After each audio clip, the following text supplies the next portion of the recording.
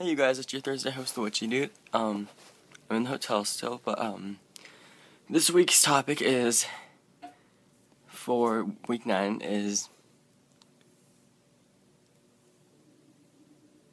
and it's harm none, do as you will. So, what does that mean? That means as long as you're not harming anyone in any sort of manner, then you should be able to do whatever you want. Um, which is what the Wiccan people in Wicca would follow. That would be their, like, their one uh, prefixed law, or I guess you could say law. Um, one the, their guideline: don't harm people, and you can do whatever you want. Whereas, I, for the other hand, was since it's my discussion I think that's a great idea. Don't harm other people and stuff. But you can't really always do that. I mean, you have to let your emotions get the best of you sometimes. You can't just always go around keeping that in you or expelling it some other way that's may not be healthy to yourself or other people. Um, and I think to a point, if someone hurts you to that breaking point, that in itself is wrong enough. And I found that karma doesn't always get people back at all. Sometimes never. So it's kind of like do what you want. I mean, if you're going to be part of Wicca, then you know you should follow that. Don't harm anyone because that just that's why that's part of the thing. That's part of like Wicca's thing. Don't harm anyone and do what you want. Uh, you could be eclectic Wiccan and kind of make more the rule for yourself, but you still want to follow the basic. Try not to harm anyone and do what you will. Oh, tired. Um. But then, uh, so now we'll go to me. On the other hand, I. I do think you should be able to not necessarily like harm someone, but kind of get some revenge on them. Whether it be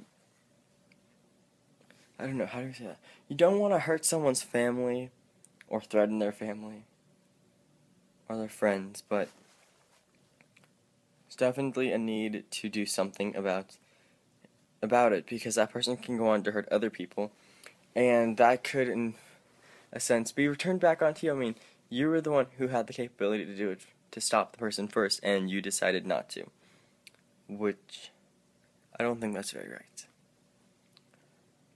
Um, and then there's a threefold thing, you know, whatever you do will come back as two times three.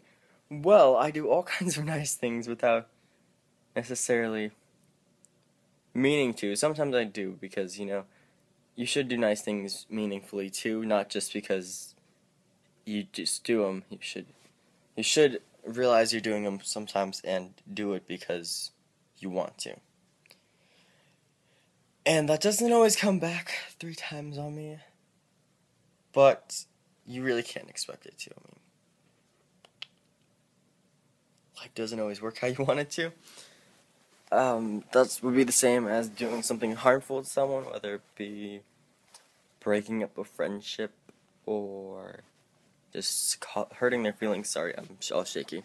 Hurting their feelings in some sort. That would come back on you times three. And I don't know. I haven't really done that, but I always have the worst, worst, worst luck with once I establish a group of friends, oh, something always happens. Someone always comes in the way, and makes it look like I'm just a horrible person. And I'm like, okay, because I've never nothing but nice to everyone, but okay. But that hasn't happened for a while. It's just happened like three times and I had like an established group of my favorite friends, and then someone decides, nope. Uh, but yeah, so this video will have sound unlike last week's. I really, really do apologize for that. Um, it should be higher quality than most of my other videos. I didn't realize that they kind of suck when you upload them from the phone. So I'll be uploading this onto YouTube from the phone. Um, from I'll upload it onto the computer and then onto YouTube.